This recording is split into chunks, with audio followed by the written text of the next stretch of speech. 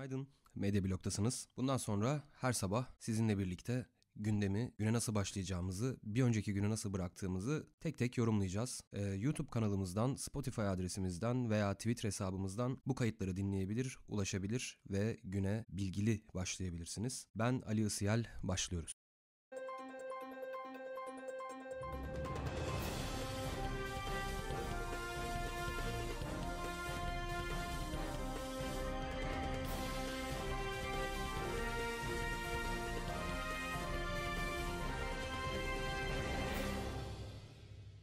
İzmir Büyükşehir Belediyesi misafirliğinde düzenlenen 2. yüzyılın İktisat Kongresi'nde dün genel başkanlar konuştu. Millet İttifakı'nda yer alan 5 partinin genel başkanı burada bir konuşma yaptı. Ancak İyi Parti Genel Başkanı Meral Akşener toplantıda yer almadı. Onun yerine Genel Başkan Yardımcısı Ümit Özlale konuştu. Ümit Özlale özel sektör vurgusu yaptı, istihdam vurgusu yaptı ve istihdamı özel sektör eliyle sağlayacaklarını ve bu şekilde Türkiye ekonomisini güçlendirmeyi amaçladıklarını söyledi.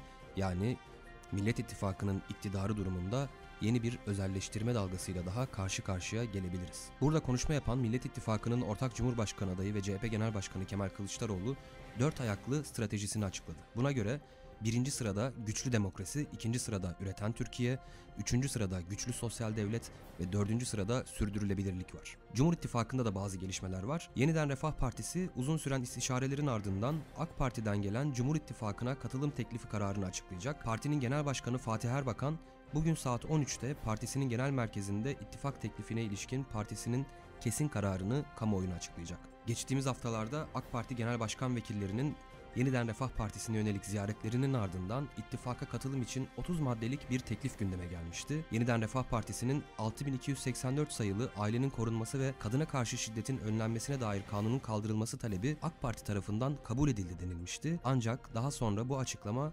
yalanlandı. Bu iddia yalanlandı. AKP Grup Başkan Vekili Özlem Zengin 6284 sayılı yasayla ilgili hedef haline getirildiğini ve tehdit mesajları alındığını söyledi. Tartışılamaz demedim diyen Zengin aynı zamanda yalnızlıktan yorulduğunu da söyledi. Hatırlayacaksınız İstanbul Sözleşmesi'nden çekilme kararı alınırken Özlem Zengin buna karşı da açıklamalarda bulunmuştu ve iktidar kanadından AK Parti içinden ciddi tepkiler almıştı. Yeni Akit yazarları da dün yazdıkları yazılarla Özlem Zengin'e yüklendi. Özlem Zengin de bunun üzerine tehdit aldığını söyledi. Seçimle ilgili çalışmalar devam ediyor. Sandık güvenliği ile ilgili ciddi kaygılar var kamuoyunda. Bu nedenle bu kaygıları gidermek adına Millet İttifakı'nın da bir takım çalışmaları var. CHP Genel Başkan Yardımcısı Onur Saladıgüzel bir açıklamada bulundu. Seçmenin hareketliliğini incelediklerini söyledi. Eğer seçmen kütü taşınmamışsa onları seçim bölgelerine tekrar taşımak için çalışmalar yapacağız. 6 parti olarak her sandıkta en az 2 kişi olmak gibi bir amacımız var. CHP örgütleri 250 bine yakın kişiyi görevlendirdi. Bizim kullandığımız bir altyapımız var.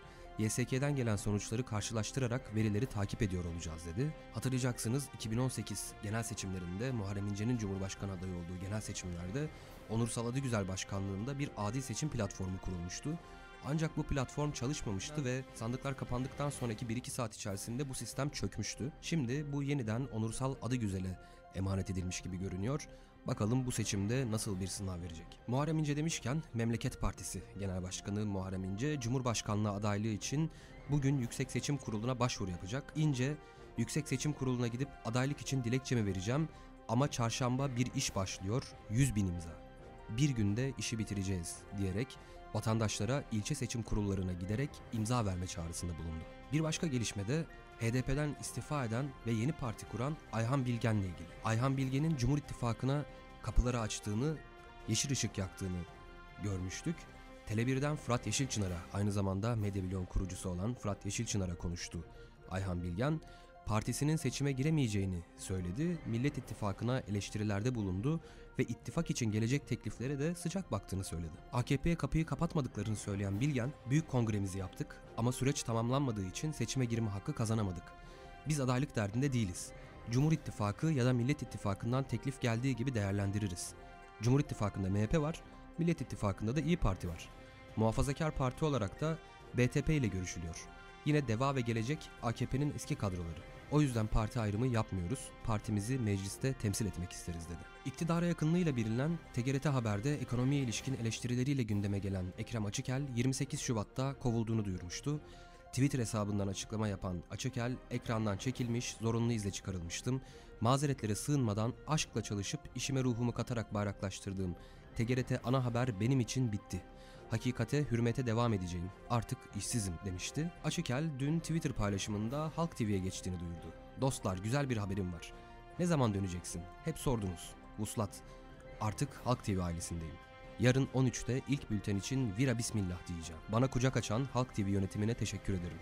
Ahlaklı, hakikate hürmet eden halk haberciliğine devam ifadelerini kullandı. Bunun üzerine sosyal medyada çok büyük bir tepki vardı Halk TV'ye. Özellikle Fenerbahçe camiasından. Çünkü hatırlayacaksınız Ekrem Açıkel 3 Temmuz 2011'deki Şike kumpasında bu kumpasın medya ayaklarından biriydi ve şimdi Halk TV'ye geçti. Fenerbahçelilerden Halk TV'ye boykot çağrıları yapılıyor.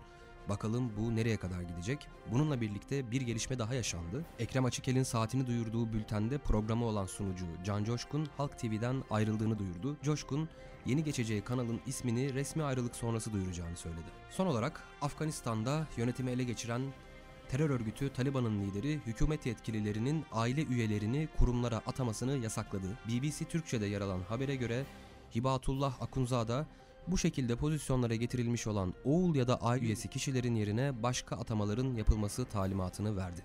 Şimdilik bu kadar. Yarın tekrar aynı saatte görüşmek dileğiyle. Hoşçakalın.